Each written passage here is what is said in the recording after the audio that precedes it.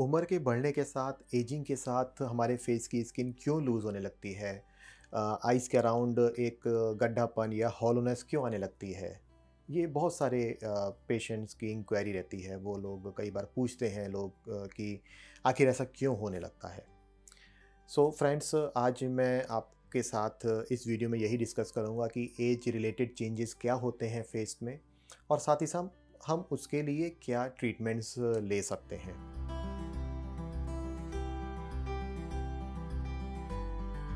Friends मैं हूँ doctor Gaurav Garg dermatologist trichologist aesthetician and hair transplant surgeon at Derma Life skin and hair clinic Green Park New Delhi so friends आपने uh, कई बार uh, ये महसूस किया होगा कि एज बढ़ने के साथ हमारा जो फेस है वो धीरे धीरे ढलने लगता है।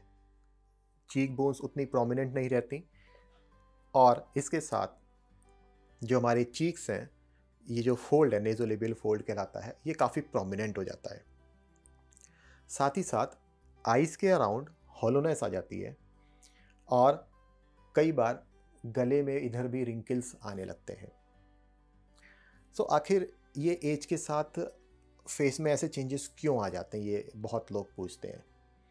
सो so, मैं आपको बेसिक से बताना शुरू करता हूँ। होता क्या है कि हमारे फेस में फ़ैट के अलग अलग पैड्स हैं।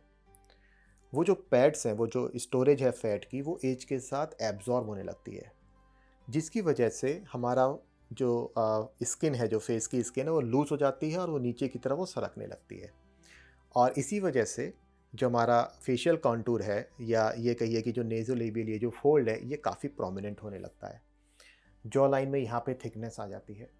साथ ही साथ आइस के अराउंड एक हॉलोनेस आती है, क्योंकि आइस के अराउंड भी जो फैट पैड्स होते हैं वो एज के साथ एब्जॉर्ब हो जाते हैं और आइज़ हॉलो जैसी हो जाती हैं। अब हम बात करते हैं कि इन चीज़ों को हम कैसे रोक सकते हैं। या यदि किसी को एजिंग के ये इफ़ेक्ट्स आ चुके हैं तो इसको कैसे हम रिवर्स कर सकते हैं? तो सबसे पहले हम रोकने वाली चीज़ों के ऊपर डिस्कस करते हैं कि यदि आप अपना एक्सरसाइज शेड्यूल आपने मेंटेन किया हुआ है आपकी डाइट हेल्दी है, आपने कार्बोहाइड्रेट्स का इस्तेमाल कम कर रहे हैं अपनी डाइट में तो आपका जो फेस का जो यूथफुलनेस है वो काफ़ी समय तक बनी रहेगी। साथ ही साथ आप अपने रूटीन में एक्सरसाइज, योगा, प्राणायाम, ये भी आप अपने रूटीन में यदि प्रॉपरली रखते हैं तो भी आपकी स्किन में जो टाइटनेस है और जो उसमें ग्लो है वो मेंटेन रहेगा। अब जब एज के साथ ये फैट पैट्स आपके एब्जॉर्ब हो चुके हैं तो इनको रिप्लेनिश करने के लिए हमारे पास दो ऑप्शन रहते हैं। या तो हम आपके बॉडी से टमी से या हम थाई से फ़ैट निकाल लें, उसको प्रोसेस करके इन एरियाज़ में हम इंजेक्ट कर दें जहाँ जहाँ पर फैट का लॉस हुआ है। या फिर हम प्री मेड फिलर्स आते हैं, जिसको कि अलग अलग कंपनीज़ ने अलग अलग नाम दिया हुआ है।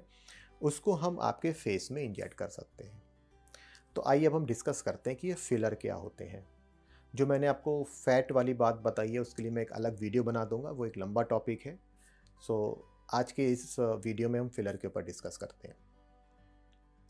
तो फिलर जो है, वो एक तरह से शुगर का एक मॉलिक्यूल है शुगर का एक टाइप है। अलग अलग इसमें भी वैरायटीज़ हैं। मोस्ट कॉमनली जो यूज़ होता है, वो हेलोनिक एसिड कहलाता है। ये इसलिए ज़्यादा यूज़ में आता है कि इस, एक तो ये इंस्टेंट आपको रिज़ल्ट देता है। साथ ही साथ ये हाइग्रोस्कोपिक नेचर का होता है। ये थोड़ा वाटर को एब्जॉर्ब करता है, जिससे स्वेल अप होता है। तो कम मटेरियल लगता है। स्वेलिंग होने के बाद वो आपका कंटूर कम वॉल्यूम में ही वो पूरा कर देता है। बहुत सारे लोग पूछते हैं कि इसके कोई साइड इफ़ेक्ट तो नहीं होते हैं और इसमें किस एज से हमें इसको लेना शुरू करना चाहिए। तो एज का ऐसा इसमें बहुत ज़्यादा कोई लिमिटेशन नहीं है। यदि किसी के मान लीजिए लिप्स का साइज़ छोटा है तो वो अर्ली एज में भी इसको शुरू कर सकते हैं। किसी को जेनेटिकली यदि अंडर आई हॉलोनेस है तो वो उसको 20 साल 25 साल की एज में भी करवा सकते हैं। सो जनरली अर्ली एज में तो पेशेंट्स uh, कम ही इसको करवाते हैं। 25 अबव काफ़ी पेशेंट्स हमारे पास आते हैं जिनको अपने फेशियल स्ट्रक्चर को ठीक रखना होता है।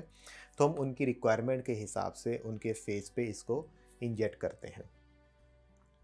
अब इसके साइड इफ़ेक्ट्स क्या हो सकते हैं? तो डेफ़िनेटली यदि आप एक्सपीरियंस्ड पर्सन से इसको करवा रहे हैं इस ट्रीटमेंट को तो डेफ़िनेटली आपको कोई डरने की ज़रूरत नहीं है। बहुत सेफ़ प्रोसीजर है। Only 15 minutes to half an hour इसमें लगता है। और पेशेंट्स डायरेक्टली अपने घर वापस जा सकते हैं।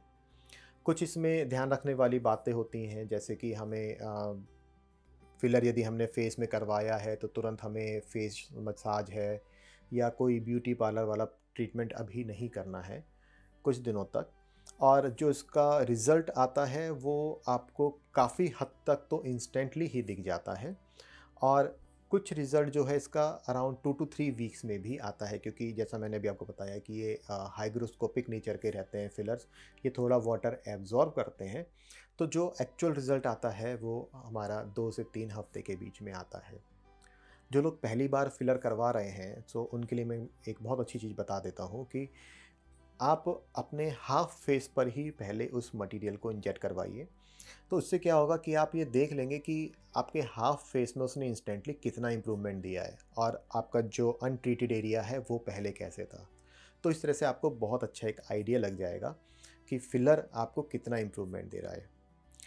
एक चीज़ और ध्यान रखने वाली बात है कि फिलर को कभी भी एकदम फुल ना लगवाया जाए। हमेशा जितनी रिक्वायरमेंट है उससे थोड़ा कम ही लगवाया जाए। क्योंकि फिलर कुछ टाइम के बाद थोड़ा सा अपने अंदर वाटर एब्जॉर्ब करके स्वेलअप होता है, जिससे कि कम अमाउंट में आपको ऑप्टिमम रिज़ल्ट मिल जाते हैं। बहुत से लोग पूछते हैं कि क्या वो फिलर करवा सकते हैं या नहीं करवा सकते हैं? तो जनरली यदि किसी को एजिंग के साइंस शुरू हो गए हैं तो वो लोग फिलर के लिए करवा सकते हैं।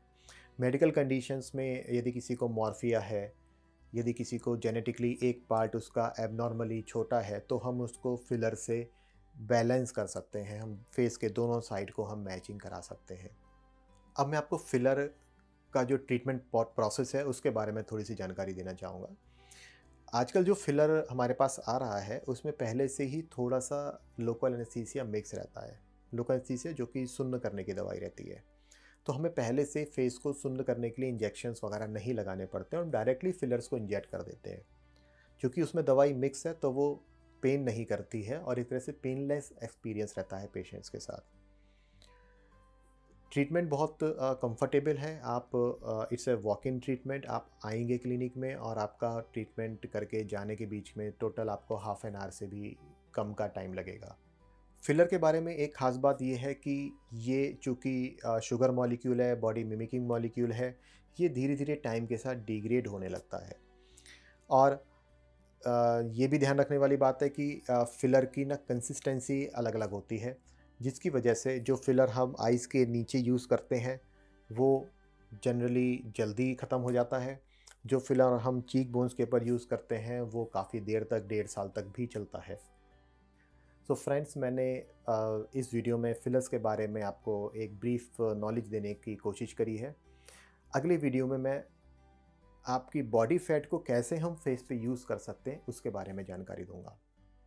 यदि आपको ये वीडियो पसंद आया है तो प्लीज़ इसको लाइक कीजिए, हमारे चैनल को सब्सक्राइब कीजिए और बेल आइकन को ज़रूर दबाइए, ताकि आपको नए वीडियोस का नोटिफिकेशन तुरंत मिलता रहे। यदि आपके कुछ क्वेश्चंस हैं तो आप उनको नीचे कमेंट सेक्शन में लिख सकते हैं, या आप हमारे दिए हुए नंबर पे भी आप इंक्वायरी कर सकते हैं। हम आपके हर क्वेश्चन को तुरंत ही जवाब देने का ट्राई करेंगे। Thank you very much